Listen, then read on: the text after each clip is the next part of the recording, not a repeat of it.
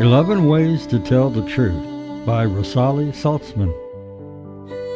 Is your friend fuming because you've disappointed them for the hundredth time?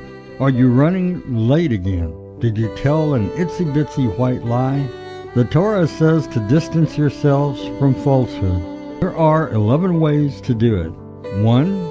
Never promise anything. You don't think that's bad for business? Do you think that's not a good strategy for your relationship? It's infinitely better than breaking your promise. There is no way that you can take every possible mitigating circumstance into account.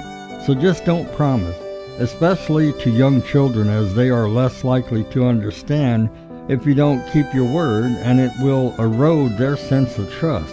2. Budget more time, money, energy, fill in the blank than you think you're going to need. How much more?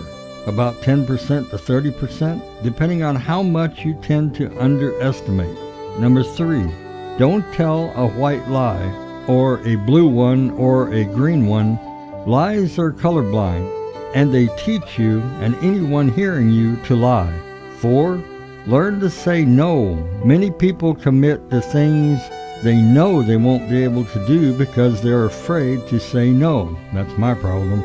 It's better to say no than later not to be able to keep your commitment. Five, write every single thing you commit to in your list or diary. You made a dentist appointment? Write it down.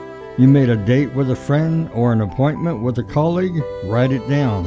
You promised to pick something up for someone or buy them a present?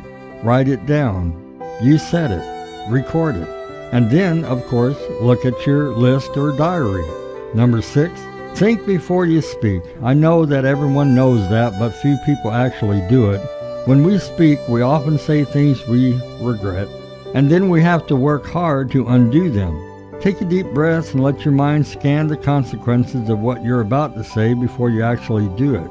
Seven, don't overuse figurative language. If you say it was 200 degrees outside today, no one will think you're being precise.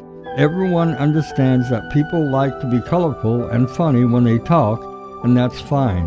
But if you are in the habit of exaggerating or using other kinds of figurative language too often and you're not a scriptwriter, it can become a problem with your credibility. 8. If you're a person who tends to be late, Set your watch ahead the number of minutes to compensate for being behind time wise. 9. Speak with integrity.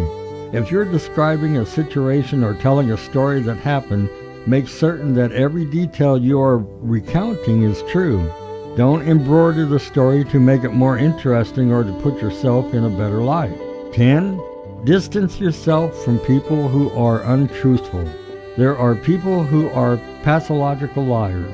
They are often very charming and appear very sincere, but they will almost never keep their word, whatever it is. If you know such people, stay away from them. Everyone can make a mistake once in a while, life happens, and people will disappoint you.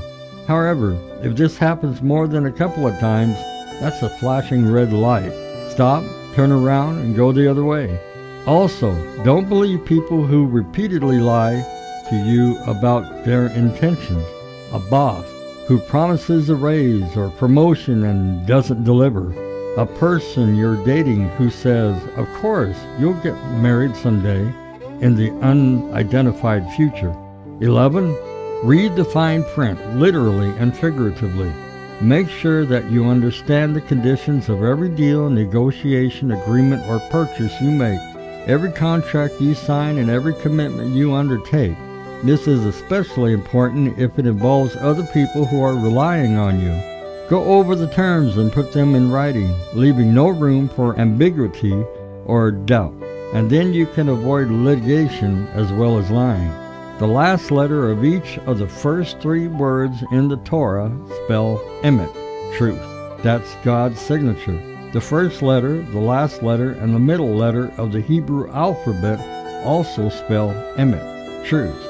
All of our utterances must be true. In the Amidah prayer, three times a day, Jews say, May the expressions of my mouth and the thoughts of my heart find favor before you. Of course, we must avoid hurting people with too much truth, but so much more pain is caused when we fail to honor our words and our commitments, and that's the honest truth.